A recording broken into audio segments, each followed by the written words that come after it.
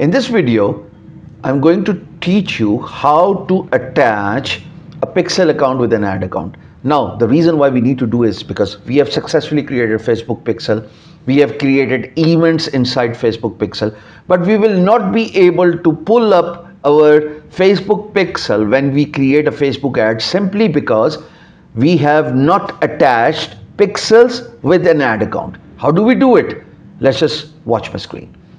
In order to attach Facebook Pixel with the ad account, we need to go to our business settings. There are a couple of things you uh, would need to learn before you actually go to the business settings. You might just want to copy your Facebook uh, business ID because that's your business account by clicking on go to business settings loading as we speak we need to navigate all the way to the pixel section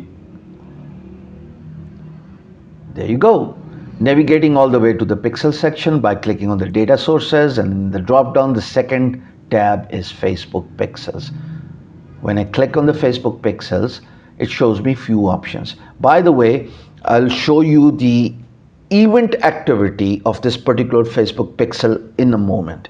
But first thing first, let's add an asset to it. By clicking on add asset button, it opens a new pop-up box and in this pop-up box, I need to select my business account and click on add button.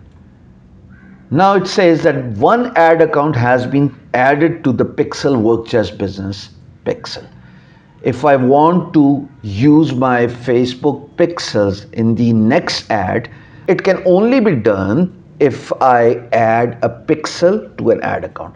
So that's the first thing taken care of. Now before I close the video, I'm going to show you the activity of uh, the events inside the pixel we created yesterday in the last video by the way so clicking on the open in events manager it opens a new pop-up box a new tab of course not a pop-up box and in this tab we will see all the activities of events uh, recorded by Facebook uh, inside Pixel tab that has taken place on different pages on different events on our website. Remember, we, if you have not seen that video, you need to uh, click on the I option somewhere on the top and you'll be able to watch the video where we have successfully created a Facebook pixel and then uh, populated events inside a Facebook pixel. Now on this page, you see all the events created. So on a root level, for everybody who has visited workchess.com, Facebook event is recorded inside Pixel for about 27k. It's a pretty handy number in one day, right? So 27,000 people have visited workchess.com in 24 hours and Facebook Pixel has recorded every single activity. Now I can use this Facebook pixel when I create an ad. How do we do it? Uh, see you in the next video.